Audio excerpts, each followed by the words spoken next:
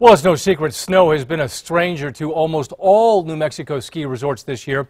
But ski industry experts say skiers should not give up on the season just yet. News 13's Brittany Bade explains why.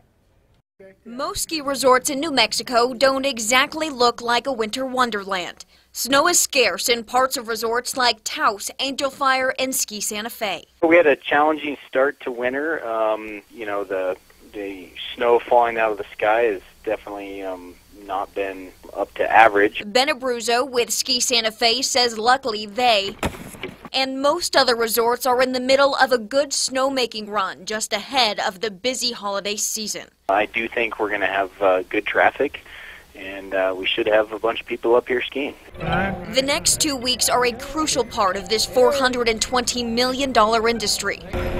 Director of Ski New Mexico, George Brooks, says you can't judge a season until after the holiday rush. Between now and Christmas or until New Year's, when we really can, can make a substantial difference, and then we'll see what the whether the slow, uh, slow or not. Brooks says New Mexico families shouldn't let video of unusually bare slopes they've seen online scare them away. It may not be everywhere on the mountain, that's for sure but we're going to have some good skiing. People we spoke to in Albuquerque are eager to support businesses that rely on winter traffic. Not too good because we need the revenue. They need the revenue up there.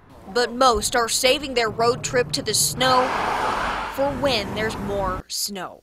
Brittany Bade, KRQE News 13. Brooks says New Mexico resorts are currently operating at about 10 to 20 percent.